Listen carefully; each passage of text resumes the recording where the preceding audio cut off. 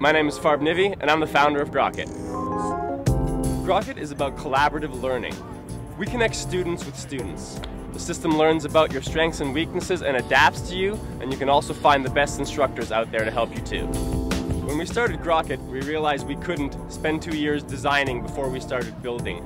We needed a practice that could let us design while we built, so that's why we turned ourselves into a lean startup.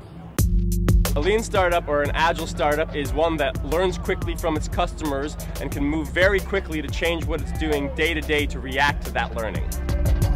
Grockit is in a competitive market, so learning about the customer as quickly as possible is really important in terms of having a competitive edge. We are able to raise our product price, triple our average time on the site, almost double the uh, customer satisfaction.